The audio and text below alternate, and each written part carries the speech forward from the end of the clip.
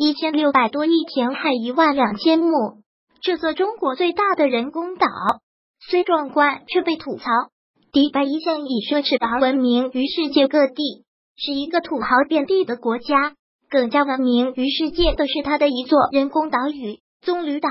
如果从航拍的角度来欣赏这座人工岛，你会惊叹于它的美和壮观，俨然成为了世界建筑史上的奇迹。当我们在惊叹于这样一座美发了的人工岛时，中国的一座人工岛也在悄悄的走进大家的视线，而且还是中国最大的人工岛。也许会好奇，这样一个宏伟的工程究竟是在哪里，有哪些特色？待为你慢慢介绍。这座人工岛就是位于海南省的填海造陆项目——海花岛。这个工程是近年来海南的重点开发项目。并且由恒大集团投资建造，一经宣传就吸引了很多人的注意。这个人工岛屿包括三个主要的小岛，将会花费一千六百多个亿，填成面积高达一万两千亩的岛屿。从高空往下俯瞰，这座人工岛仿若浪花，因此得名“梅为海花岛”。随着海花岛项目全面启动，海南的旅游业势必会更上一层楼。标志性建筑也肯定会随之增加，因此不少媒体都时刻关注着这座岛屿的动态。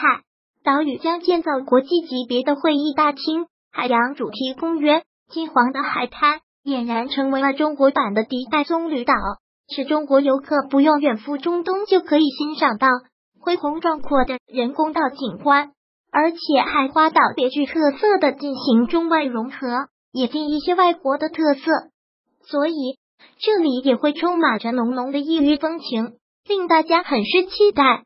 就是这样一座岛屿，一方面吊足了大家的胃口，另一方面却遭到了大批网友的强烈吐槽。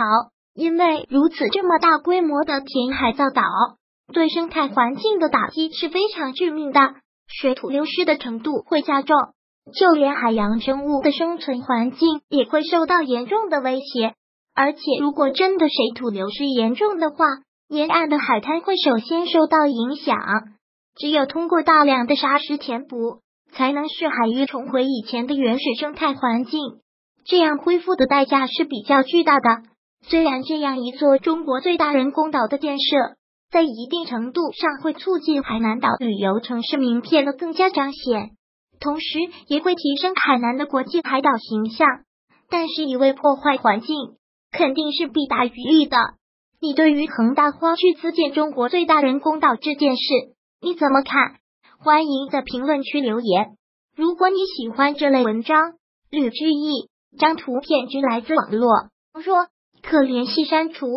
如果喜欢本视频，请分享并订阅本频道，别忘了按赞哦。